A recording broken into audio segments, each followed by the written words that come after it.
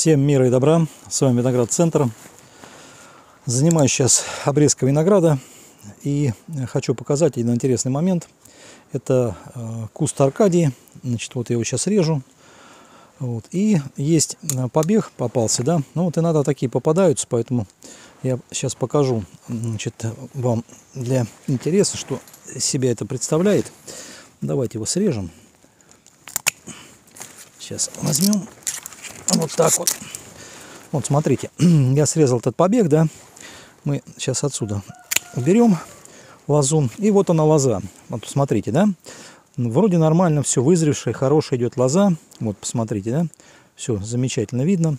Сейчас я ее здесь аккуратненько срежу дальше. Вот. Ну, давайте я возьму так примерно. Вот.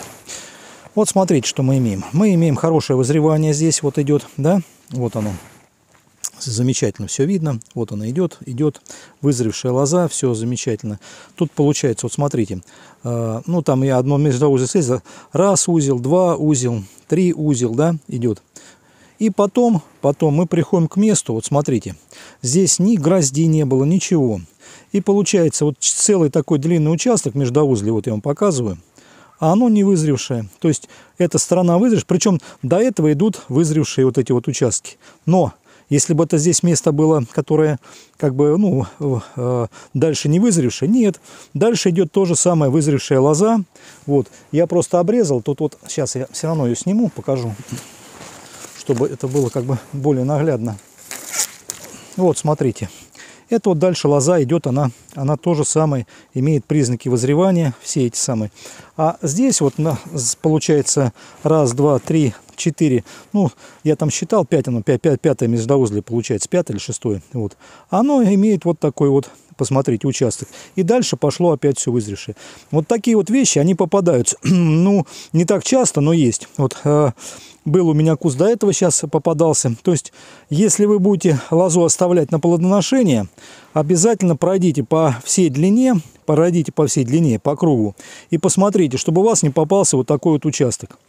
Вот, лоза, лоза выше вот этого участка, ее нельзя считать, что она вызревшая, хотя она дальше такая же идет коричневая, все нормально, но вот этот участок зеленый есть, все, эта лоза не может оставлена быть на плодоношение, потому что у нее есть невызревший вот этот участок, и он, естественно, при значит, э, заморозках просто здесь погибнет.